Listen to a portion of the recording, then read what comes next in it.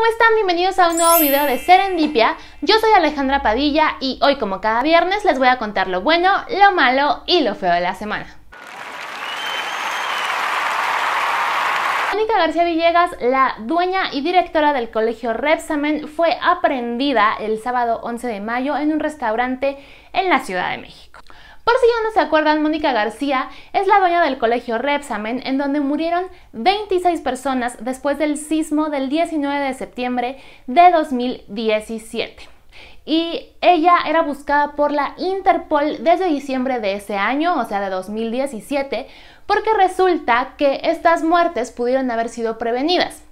Porque la señora construyó un cuarto piso arriba de la escuela, pero era un edificio bastante viejo, entonces al construir ese otro piso y no reforzar la estructura que ya existía, pues cuando llegó un terremoto de la magnitud que fue el terremoto de 2017, el edificio colapsó y provocó la muerte de estas 26 personas, de las cuales 19 eran niños que asistían a esa escuela y otras 7 eran adultos. Entonces Mónica García era buscada por homicidio culposo e irregularidades en los permisos de construcción, porque una investigación posterior a esta tragedia reveló que alteró los permisos para hacer esta construcción en la escuela. Más de todo esto, resulta que quien entregó a Mónica fue su hermano y entonces va a recibir 5 millones de pesos, que era la recompensa ofrecida por eh, proporcionar datos sobre el paradero de esta mujer. Y bueno, aunque el hermano ha dicho que este dinero lo va a donar a los damnificados del sismo, especialmente a los padres de familia de estos niños que murieron, pues en realidad no sabemos a dónde va a ir a parar ese dinero. con la contaminación. La Ciudad de México está en contingencia desde el martes 14 de mayo por los altos niveles de ozono y partículas PM2.5. Resulta que desde el 9 de mayo se han registrado casi 400 incendios en la Ciudad de México, el Estado de México, Morelos e Hidalgo. Estos incendios han provocado que los niveles de la partícula PM2.5 se eleven a tal grado que hagan imposible seguir la vida con normalidad. Las partículas PM2.5 son partículas muy pequeñas, muchísimo más pequeñas que un cabello humano, que son provocadas principalmente por la combustión. Entonces, si tenemos incendios en la Ciudad de México y en los alrededores, pues es obvio que los niveles de, eh, de estas partículas van a aumentar. Y lo que pasa es que estas partículas pueden llegar con mucha facilidad a los pulmones e incluso al cerebro de las personas que las respiramos.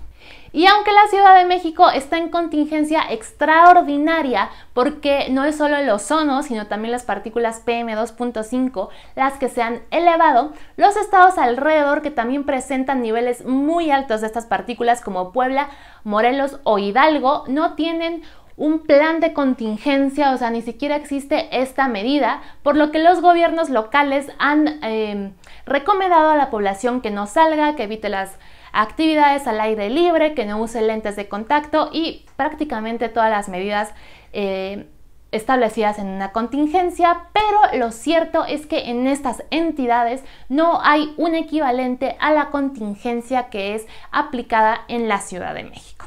Esperemos que con las lluvias de estos días los niveles de estas partículas bajen y por fin podamos regresar a la vida normal. La Subsecretaría de Derechos Humanos de la Secretaría de Gobernación presentó el primer registro oficial de fosas clandestinas en México.